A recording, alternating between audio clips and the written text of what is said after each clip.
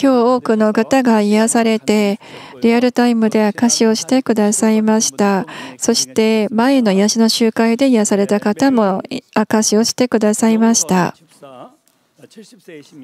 70歳のメンヨンソン執事です。中学に記憶です。肩の痛みが癒されました。肩の痛みがひどかったのです。10年以上、小さいバッグも肩にかけることができないくらいでした。肩の関節の周りにある関節が変形して炎症が起こす病気です。前の癒しの集会に従う心で参加して癒しの祈りを受けるとき、肩の痛みを下がれと祈ってくださるとき、イシジン先生の手が私の肩を押さえてくれるような感じがして、すっきりして痛みがなくなりました。持病を癒してくださった神様に感謝と栄光を捧げます。祈ってくださったイーサジン先生に感謝します。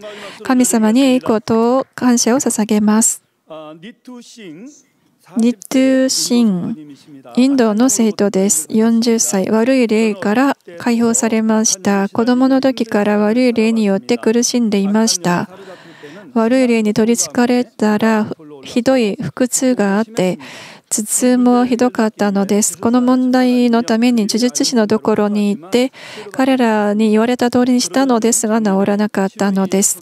去年、家族の紹介で YouTube GCN ヒンディチャンネルを知りました。主を救い主として受け入れて礼拝を捧げ始めました。今日癒しの集会に参加して礼拝を捧げている時、霊的な炎に包まれて燃え尽くされるような感じがしました。数十年間の悪い霊の妨害から解放されて、今は身も心も軽くなって喜びが折れています。私を回復させてくださった神様に感謝します。これから御言葉通りに生きていきます。神様に感謝と栄光を捧げます。 얼마나 좋으실까요? どれほど嬉しいでしょうか？紅葉下監視74歳11教区です。66年間の中耳炎が癒されました。小学校1年生の時、沐浴をしていて、右の耳に水が入ったのですが、大したことではないと思ったのですが、耳だれがあって、痒くて苦しんでいました。しかし、病院には行けなかったのです。その当時はティッシュもなかったし、耳だれがあれば、紙くずを入れて拭いたのですが、辛かったのです。それでお母さんにこっそり布団の綿を出して使ったりしました。慢性中耳炎になって病院に行って治療を受けることも考えなかったし、かゆけば隠し、耳だれがあったら拭くのが日常でした。そんな中、信仰生活を始めて、耳の痛みですごく苦しんでいました。耳だれもひどかったのです。いつも綿棒を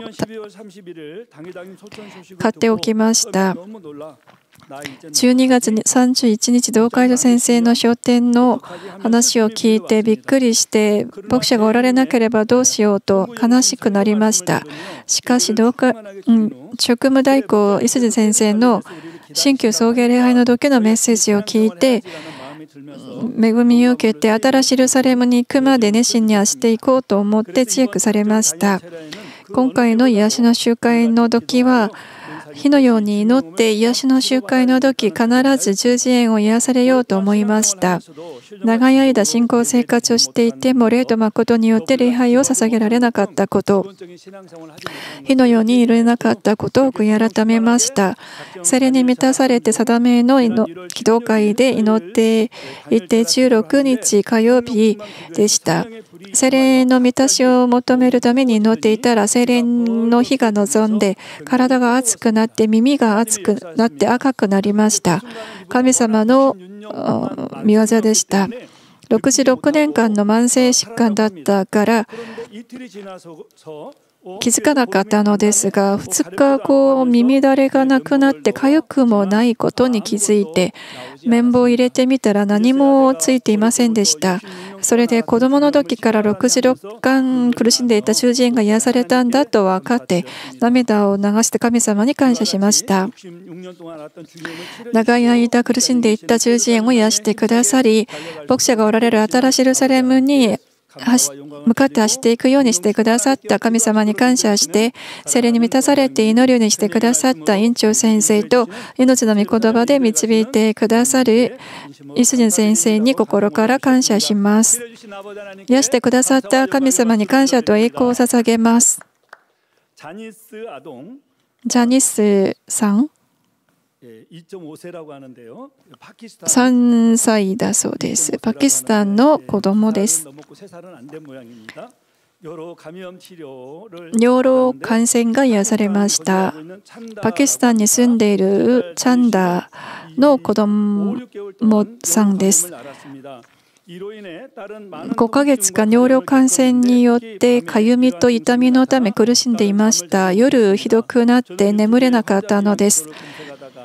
YouTube で癒しのための祈りを検索してウルドゥ語の GC のチャンネルを見かけて癒しの祈りを受けました。その後インドのデリマン民教会に連絡して祈りの依頼をしました。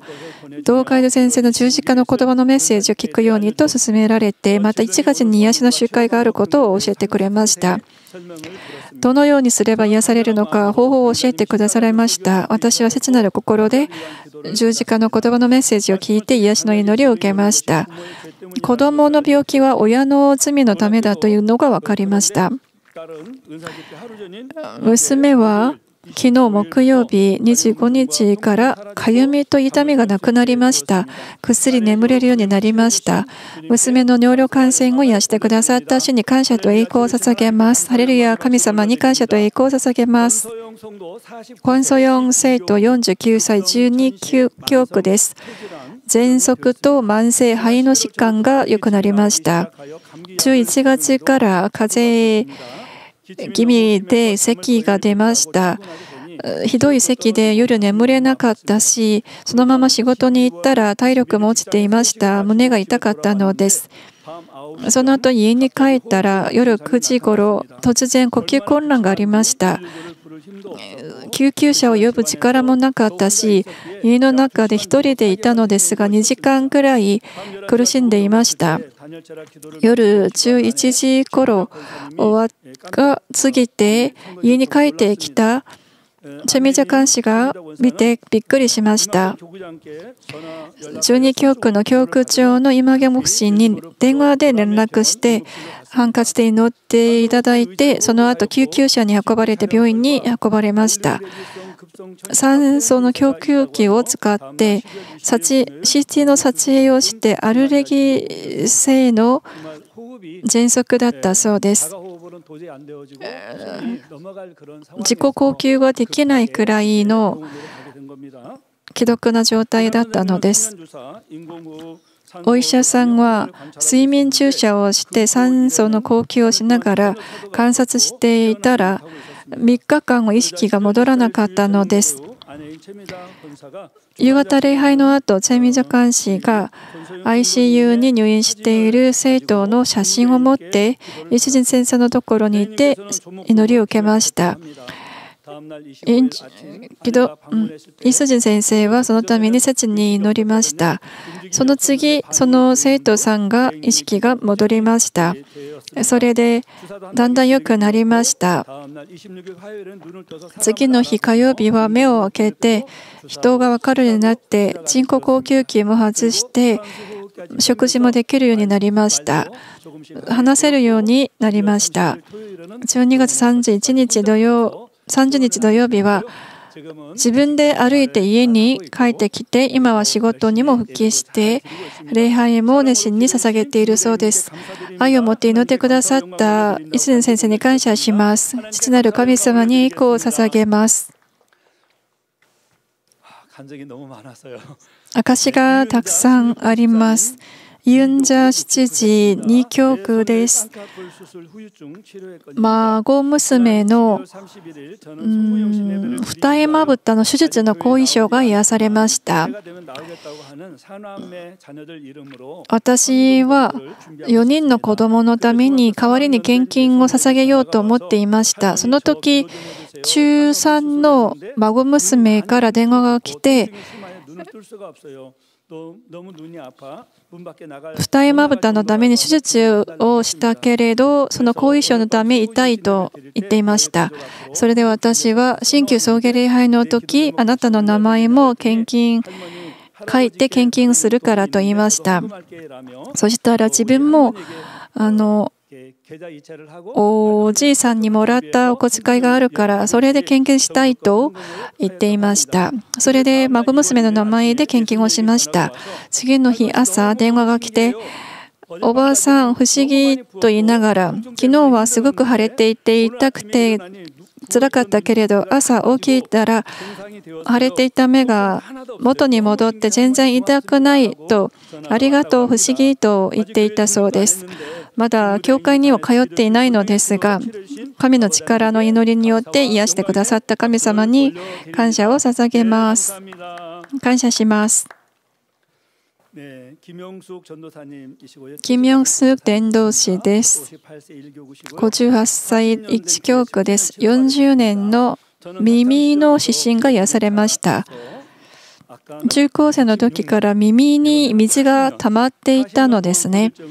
40年の持病だったのですが、新旧送迎礼拝を捧げてから家に帰って確認してみたら、耳の中が乾いていて癒されたと分かりました。耳の指針を癒してくださった神様に感謝と栄光を捧げます。感謝します。法政アゲレ生徒17歳コロンビア難民協会の生徒です。